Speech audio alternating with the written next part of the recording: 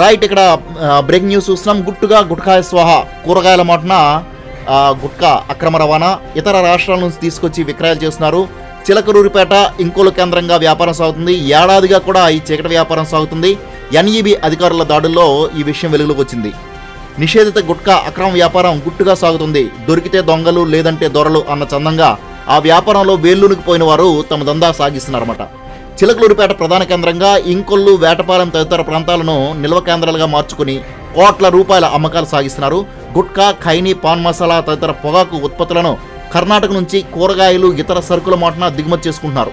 గతంలో కీలక వ్యక్తికి సం ఒక కీలక వ్యక్తికి చెందిన గొడవంలో భారీ స్థాయిలో సరుకు పట్టుబడింది.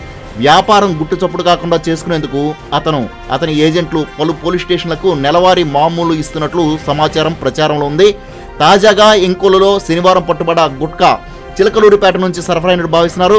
దొరికిన నిందితులను పూర్తి స్థాయిలో విచారిస్తే అసలు మూలాలు బయటపడే అవకాశం ఉంది. మరి పోలీసులు దీని మీద ఎటువంటి యాక్షన్ తీసుకుంటారో చూడాల్సి ఉంది. ఇదే బ్రేకింగ్ న్యూస్ ఇప్పుడు మన జిఆర్ న్యూస్ స్క్రీన్ మీద మనం చూస్తున్నాం.